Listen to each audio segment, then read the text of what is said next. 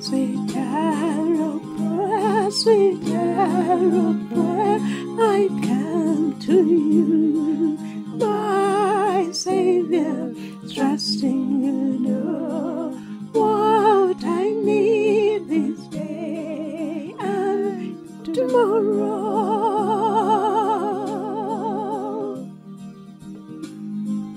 Give me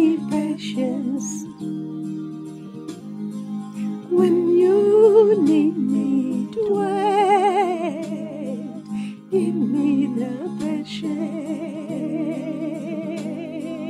that I need. You remind me